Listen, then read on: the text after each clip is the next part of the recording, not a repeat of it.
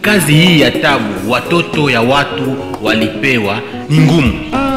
Voilà. Sala ya pasi epesami na bana ngongo ya bato babondela ngo pasi. Komba ya liberation ya Kongo yo topona.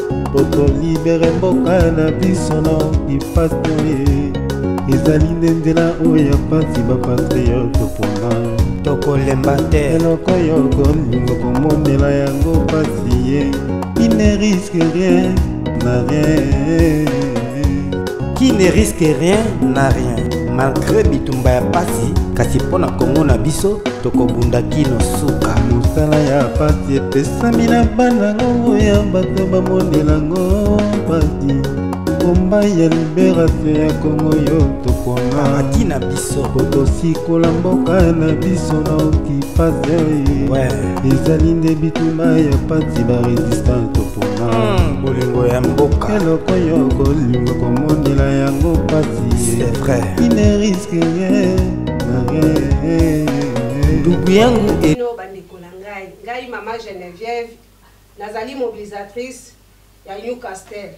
Apareco UK ezali kobenga bino na journee porte ouverte samedi le 9 fevrier 2019.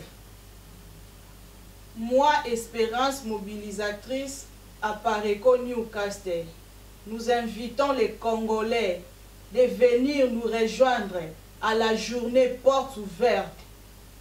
Ngai Nana Binda, Tozali kobengisa bino mokolo mwa le 9 fevrier 2019, lokola Papa Honore Ngbanda, President National ya Apareco aloba ete bakendaka maponami te na pays oyo ezali sous occupation, preuve en est bino moko bomoni na miso, na 2000, na 2006 tokendaki maponami, babotoli biso, na 2011 toke lisusu, babotoli biso. Toke lisusu na 2018, babotoli biso maponami. Yango wana esengeli na biso koya ebele na mokolo wana na ntina ete tosangisa makanisi na biso na ntina kosikola mboka na biso na maboko ya banguna.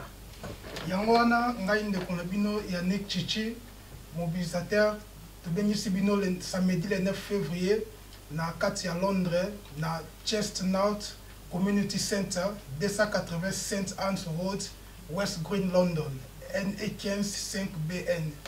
La resistance continue, Ingeta! Ingeta! Ingeta!